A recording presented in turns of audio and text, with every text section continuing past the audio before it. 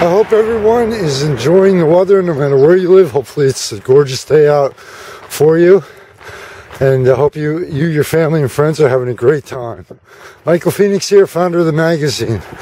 Uh, currently on Canal, Dolphin Street, Canal Road, Water Street, um, going from Allentown to Catty. I've heard three different names for this one, everything from Google Maps to the loc to uh, local names for it.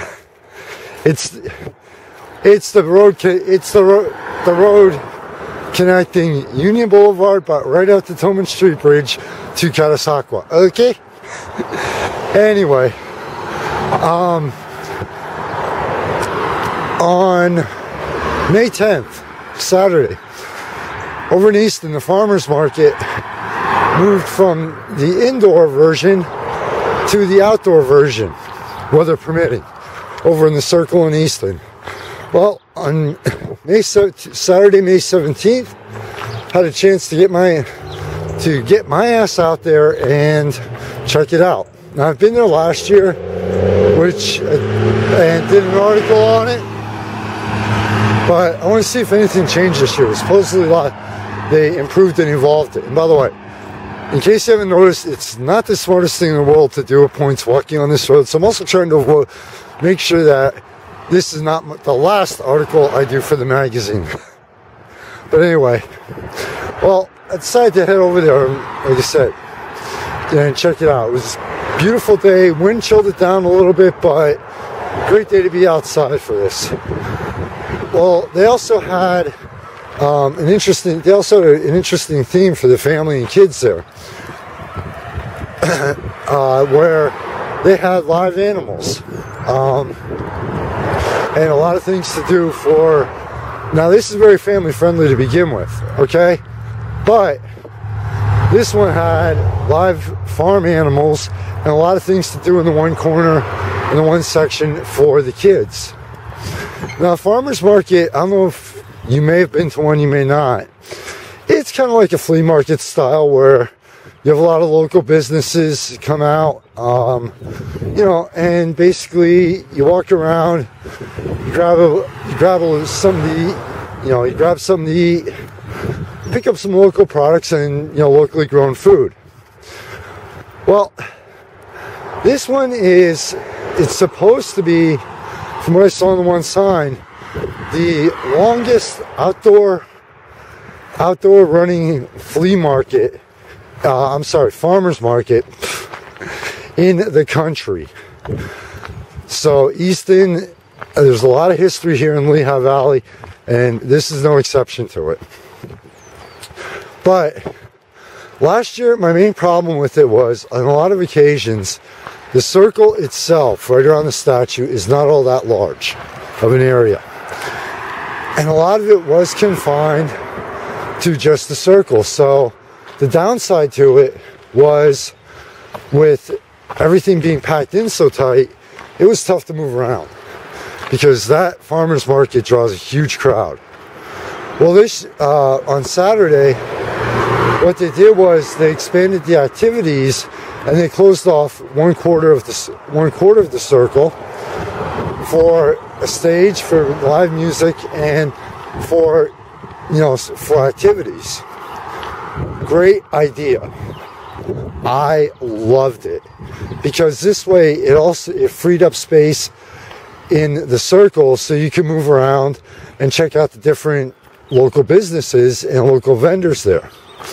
Um, hopefully they will continue to do this. It creates kind of a a little bit you know, slightly interesting traffic pattern there. But the way the city's set up around the circle, it's easy to get around it. Um, so yeah, it's it's definitely, in my opinion, last year was cool. This year, the way he evolved it is even better.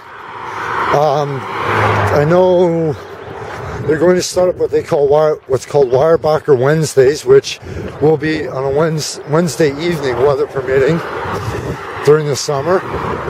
And it's just one thing about the Lehigh Valley is it is starting to become almost closer and closer to an ideal balance here between the new the new technology, you know, the new technological and modern world we live in, and while keeping its history alive. And by keeping the history alive, I mean not okay, well, the Hess building used to be here. Look at the steel stacks and remember the great Bethlehem steel. Not saying anything bad about that. It's great to look back and realize and know where we came from. But the whole area is becoming closer and closer to an ideal balance of the living history. The Easton Farmers Market. I mean, it's a great place where, you know, watch the old movies. Uh, families used to go out on a, you know, on a Saturday morning, and you didn't get your you didn't get your food from a major grocery store. You got it from your local farms, and this is what you know. You would go outside, you know, everybody would set up, and it'd be basically a local street fair you know, and a, lo- and a, you know, basically a local street for every weekend, and that's what the Easton Outdoors, the Easton Farmers Market is.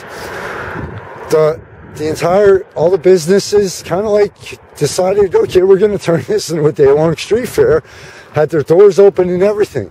So it's you know it's it's one of the many times where you, in the area where you hear me say it's almost like going back in time okay, when you go to this, where 100, 200 years ago, and where people would just get together during the day before the days of technology and the, the smartphones and everything and socialize and meet new people.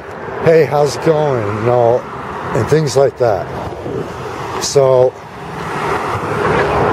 if you, this is great for the family, honestly and also take your pet and also the non-human members of the family are welcome. So a lot of people out there walk giving their giving their pets a chance to check things out and enjoy um, if you're in the area on a saturday the only thing that i strongly recommend is if they're calling for rain or if it looks like it might rain keep an eye on the radar and keep an eye on the skies because that's the only thing that kind of uh, is touch and go with this. But it's like that with any other outdoor event, also. So you check them out on the on online.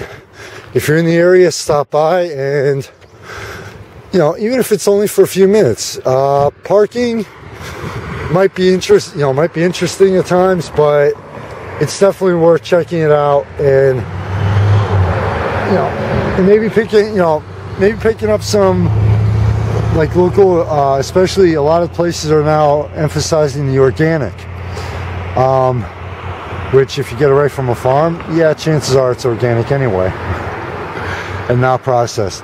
But I saw, you know, they have, you know, you can check, you know, in the farmers market itself is around the circle where you can you can hit get a hot dog or some food, you know, break, grab some lunch while you're there.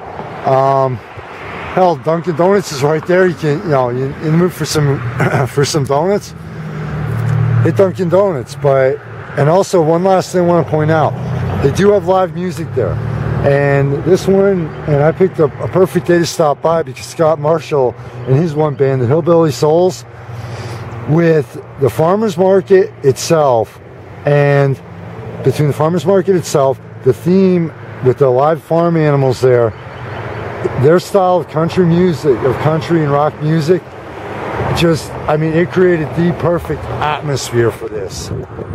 Where, again, it was almost like going back in time. So, you know, definitely, I mean, if you're visiting the area, if you're planning on moving here, the best thing I can tell you to do is check check the Valley and Beyond. Check out the different cities and towns, their websites to find out, you know, bands, etc. Trust me, especially now that the weather, warm weather's here and summer's arriving, you will not get bored. You will be overwhelmed at times with what to do. But check out the Easton Farmers Market outside and also keep an eye on when Weyerbacher Wednesdays start. Great way to spend a happy hour. Thank you very much to everyone, no matter where you live, for your support of the magazine. be safe in the night and always. And by the way, uh, not exactly sure the name of this creek, but just started raining, but I figured I'd give you a chance to take a break from the concrete and the and the buildings and every time I walk over this thing I always check to see if I can see any fish. Michael Phoenix, it's been real.